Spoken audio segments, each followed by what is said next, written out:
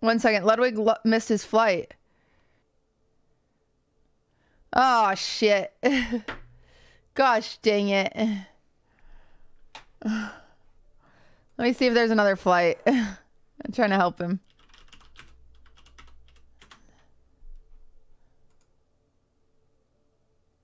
Also, his AirPods were in his fanny pack. We found them last night.